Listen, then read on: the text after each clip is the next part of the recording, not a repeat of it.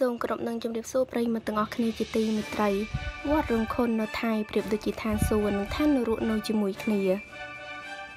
វត្តរងខុនឬគេហៅថា White Temple នៅក្នុងប្រទេសថៃត្រូវបានគេកសាងឡើង ដោយគំនិតដ៏សាមញ្ញមួយ អ្នកបង្កើតវត្តនេះឡើង គឺជាវិចិត្រករដែលបានបញ្ចប់ការសិក្សាពីសាលាវិចិត្រសិល្បៈថៃគឺលោកឆាលើមឆៃកូស៊ីភិផាត ដោយចង់ធ្វើឲ្យคล้ายជាវត្តដ៏ស្រស់ស្អាតបំផុតនៅលើពិភពលោក ប្រកបណាស់អ្នកដែលបានបោះជំហានដើរចូលទៅក្នុងវត្តនេះនឹងដើរចេញមកវិញដោយមានអារម្មណ៍ថាប្លែកនៅលើភពផែនដីនេះគ្មានកន្លែងណាផ្សេងដូចជាវត្តរងខុនឡើយនៅពេលឈរនៅមុខវត្តនេះ អ្នកនឹងមើលឃើញដៃជាច្រើនស្រវាបោះមក តាមសងខាងនៃផ្លូវដើរផ្ទុយទៅវិញនៅពេលដែលអ្នកឆ្លងកាត់ស្ពាន ស្ពានឋាននរកនោះរួច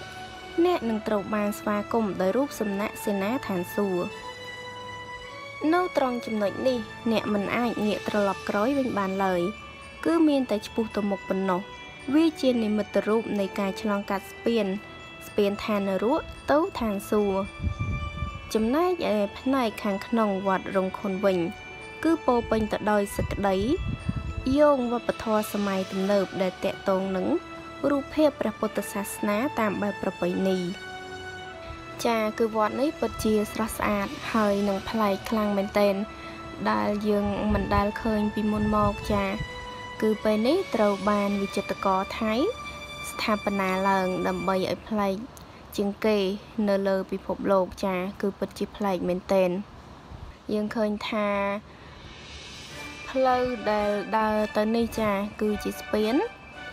ដែលអមនៅសងខាងស្ពាននេះ គឺសុទ្ធតែដៃមនុស្សចា ដែលគេហៅថាគឺជាស្ពាននរកបន្ទាប់ពីយើងដើរផុតពីស្ពាននរកនោះទៅ គឺយើងនឹងដល់ផ្លូវមួយ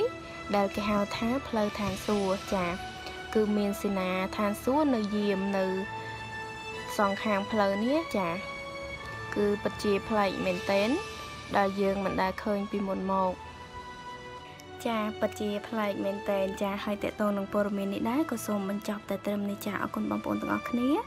សូមចុច Subscribe និងរូបកណ្ដឹងដើម្បីទទួលបានព័ត៌មានថ្មីៗប្លែកៗជាបន្តទៀតចាសូមអរគុណសូមគោរពលា